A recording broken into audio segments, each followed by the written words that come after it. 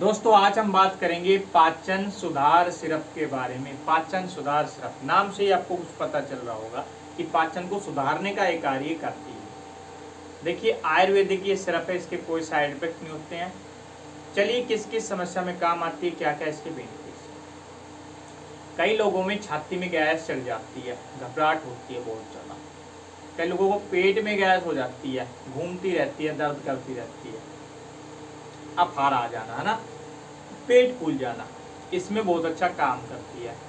कई लोगों को छाती में जलन हो जाती है, पेट में जलन हो जाती है एसिडिटी बन जाती है। खट्टा पानी मुँह में आता है, डकारें आती है और खट्टा खट्टा पानी मुँह में आने लगता है।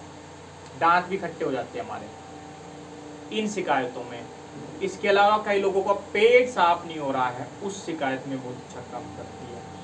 कई लोगों को जीआरडी की समस्या यहाँ पे पेट में जो वाल होता है, वो वाल कहीं ना कहीं वीक पड़ जाता है फ़ूड पाइप का वाल। उसमें बहुत अच्छा ही काम करती है। है ना? कई लोगों के अंदर अल्सर पैदा हो जाते हैं, पेट में या आंतों के अंदर। एसिडिटी ज़्यादा बनेगी तो एसिडिटी में एसिड होता है हमारा पेट का ही एक एसिड होता है, जो छाले भी कर देता हमारी फ़ूड पाइप में, खाने की नली में कर सकता है। पेट के अंदर कर सकता है, खुद अपने अंदर मतलब पेट छाले कर लेता है एसिड से एंड आंतों में वो एसिड पहुँच जाए तो आंतों में भी बहुत ज़्यादा जख्म होता है। तो वैसे तो पेट में एसिड होता ही होता है, लेकिन वो ज़्यादा बढ़ने लगे, उसको बोलते हैं तेजाब एसिड बन रहा है। तो इस दवा का यूज़ करें और सभी समस्या से आप मुक्ति पा सकते हैं, बहुत ज़्यादा फ़ायदे हैं। तो इसका सात से दस एम सुबह, शाम, दोपहर खाना खाने के आधा एक घंटे बाद पानी से ले सकते हैं।